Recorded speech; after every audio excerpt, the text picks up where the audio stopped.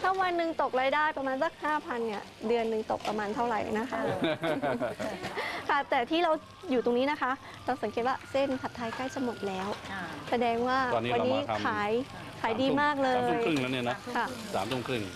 คนจะมาทานกันเยอะเนี่ยในช่วงไหนคะหกโมงเย็นเราเริ่มออกคนก็นั่งรอหกโมงเย็นเป๊ะอ่าเริ่มผัดไทยเริ่มผัด มาตรฐานถ้าไม่หกโยกโมงหกโมงไม่ไม่ผัดผัดไม่เคารพธงชาติขายไม่ดีแล้วอ๋อมีเคล็ดด้วยมีเคล็ดด้วยใช่ไหมคะไม่เพราะเราออกไม่ทันเราเลยต้องบอกเขาอย่างนั้นค่ะ อยากทราบว่าจริง ๆ แล้วอะบริเวณตรงนี้นะคะอาจารย์เราก็ยังมีประวัติศาสตร์อีกครับนะคะ บริเวณตรงเนี้ยแต่เดิมเนี่ยก็คือเป็นวัด ตอนนี้เป็นวัดท่าหมัน วัดใช่วัดท่าหมัน เขาเรียกแล้วโรงหนังอะไร เฉลิมนครด้วยโรใช่งไหมหนังเฉลิใช่มนค่ะครทางด้านนู้นนะคะ คุณผู้ชมโรงหนัง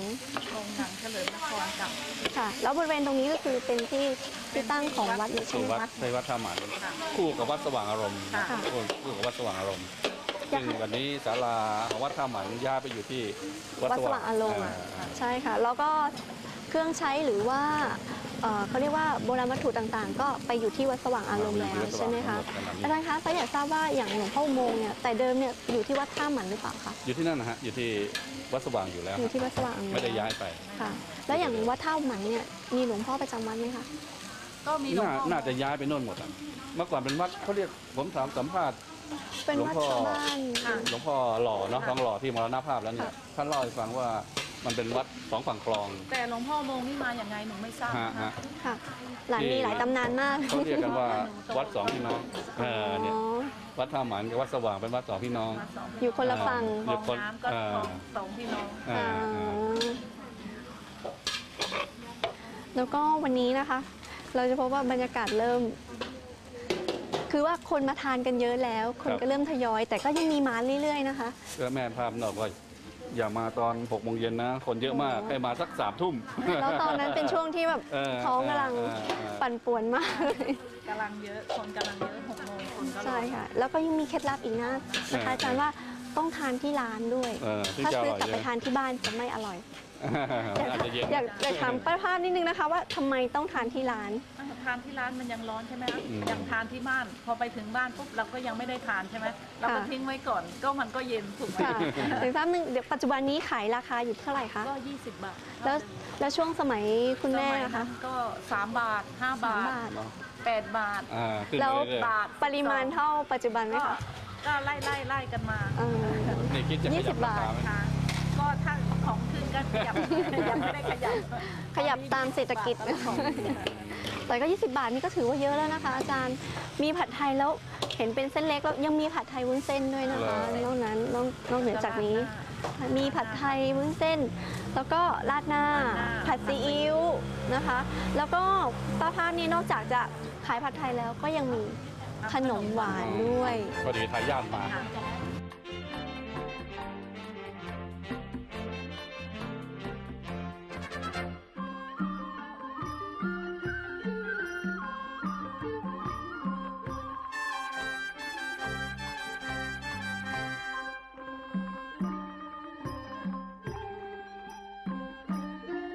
ค่ะ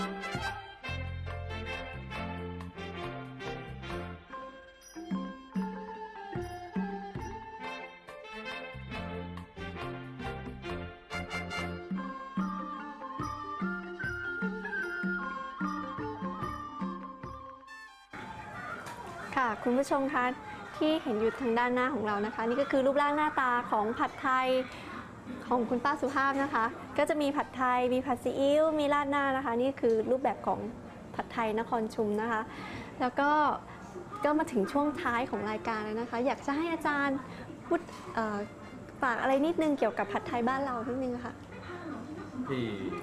ติดตามมาทำรายการเพราะว่าผัดไทยนี่เป็นตำนานของนครชุมนะฮะค่ะว่าเกือบ60 ปีค่ะที่ผัดไทยนี้ตั้งแต่รุ่นแม่ค่ะไปถึงรุ่นแม่สุภาพ แล้วต่อไปไปถึงรุ่นแม่พึ่งเนี่ยนะซึ่งซึ่งสามรุ่นเนี่ย60ปีเนี่ย ซึ่งเราเราจะไม่เห็น ไม่เห็นเรื่องของอาหารประเภทเนี้ยที่สืบทอดกันมาขนาดนี้แล้วยังมีคนนิยมมากมาย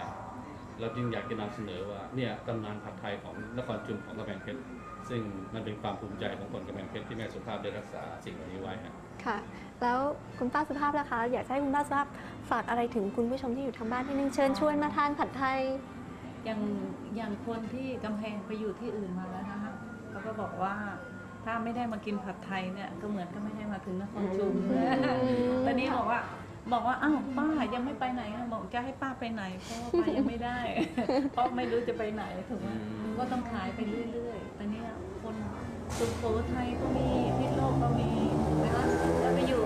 ชนบุรีระยองอะไรเนี่ยถ้าเด็กๆกลับมาแล้วบอกว่าถ้าไม่ได้กินผัดไทยไม่มาถึงนครชุมแน่เออ ก็คือว่าถ้ากลับมาเที่ยวบ้านเนี่ยก็จะต้องกลับมาทานอย่างสงผัดกไทรารยอะไรอย่างเงี้ยนะใช่ค่ะ แล้วก็อีกอย่างหนึงค่ะก็คือว่าผัดไทยที่เนี่ยยังเป็นถือเป็นที่เหมือนเป็นหน้าตาของนครชุมอีกต่างหากนะคะถ้าเป็ไม่นมีถ้าไม่มีผัดไทยแม่สุภาพเหงา ใช่ค่ะจะ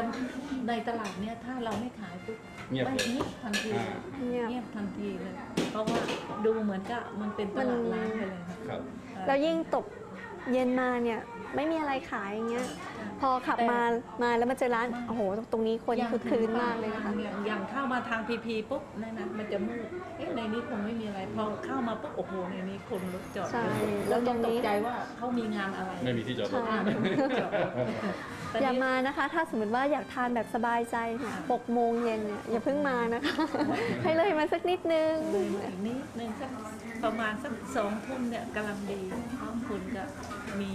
มีอยังน้อยกว่าหกโมงเย็นถึงค่ะนั่นนะค่ะนอกจากจะมีผัดไทยแล้วก็ยังมีขนมหวานด้วยนะคะคุณผู้ชมคะเราทานผัดไทยเสร็จแล้วเราก็ยังได้ทานขนมหวานขนมโบราณอย่างเช่น ฝอยทองทองหยิบทองหยอด ขนมโบราณขนมชั้นอะไรอย่างนี้นะคะคือคุณป้าภาพก็ยังเป็นคนทำด้วย ขนมโบราณนะคะเขาเรียกขนมอะไรนะของหวานของหวานอะไรของโปรตุเกสของฝรั่ง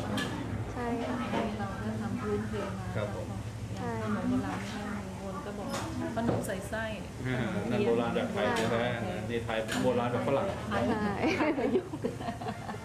ค่ะวันนี้ก็ รู้สึกว่าเราจะ เริ่มจะกินแล้วใช่ไหม ใช่ค่ะเห็นหน้าตาของผัดไทยที่นี่จะดูดีมากเลยอะไรเลยทำให้เรารู้สึกท้องจะเริ่มปั่นป่วนอีกแล้วนะคะ คุณผู้ชมคะ แล้ววันนี้เราก็ พาคุณผู้ชมมานะคะรื้อฟื้นตำนานผัดไทยนครชุม